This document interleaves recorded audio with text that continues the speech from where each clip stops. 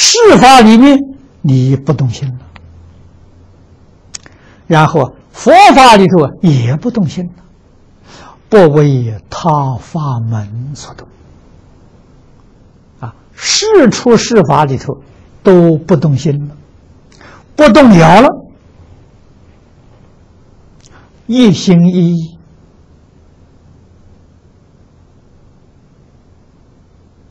选择了这个法门，啊，一生再也不改了。我就这一个法门学到底，就这个法门呢，就圆满成就了。啊，所以这是根本的根本。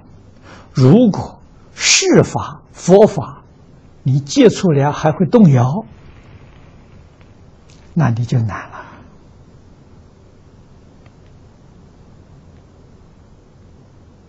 你自己必定要有高度的警觉。事法里面动摇，你就不能出六道轮回；佛法里面你动摇呢，你就决定不能一门深入。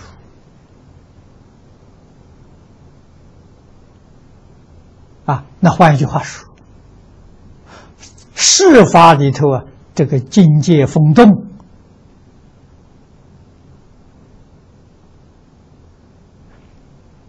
动摇了你的心，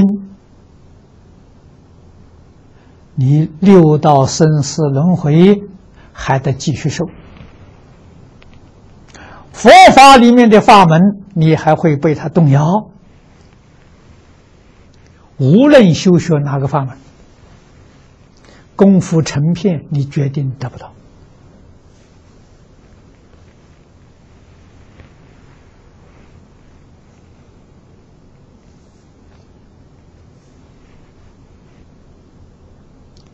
自己要多想想啊，多多的反省呐。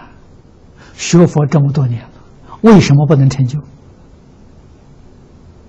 你的根本动摇了，啊，说明什么呢？你没有信心，你没有智慧，你没有定功，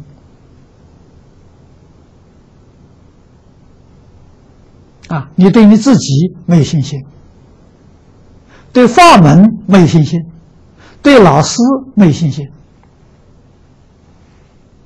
所以你的心。是浮的，啊，浮动，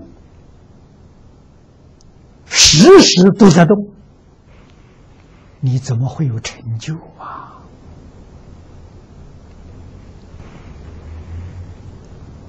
你看看，一尊佛就把这一个总的原则，啊，这个成败关键、原理原则，告诉你了。